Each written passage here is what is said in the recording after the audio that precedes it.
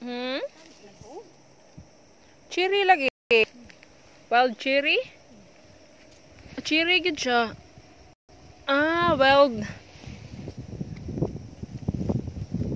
O di ni cherry. Kuan man ni, mura man ni og kanang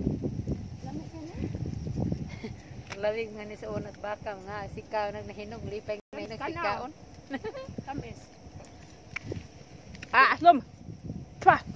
Pa. Ang hinog dami sa ana.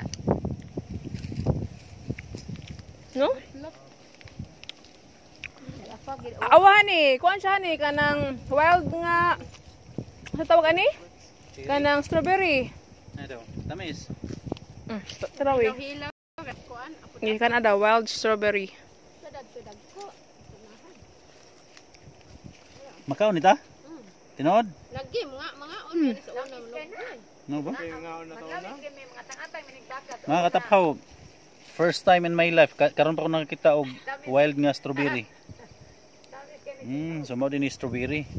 So ichigo ni sa kanang mga hapon. Ichigo, ang problema ang wild unsa nang unsa hinapon sa wild. Okay, so mao ni ato ang kuano, mao ni ato nakitaan pag ari na to sa udlom. Natay wild strawberry. So balik na ko diri pirmi kuan kayo nakita ko mga punuan dagko kayo. Ipali ko video ani mao ni siya wild strawberry kani. So gitawag ni siya wild kay manghasi ni. Kani. Nag Okay, so, yun. ma- so mao ni siya nga punuan, mao sad ni siya ang bunga. Mao ni siya mga kataphaw. So kung mari di kag bukid mga kataphaw, kanang dili gid ka mapasmo kay daghan kay mga kanang nature nga pagkaon. So ato ning tilawan ha. First time.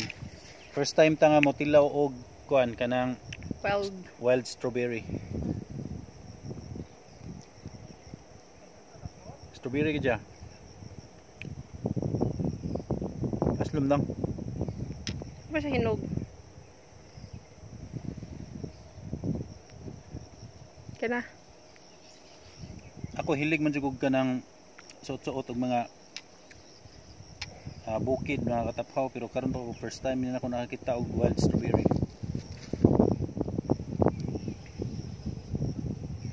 So man siya porma.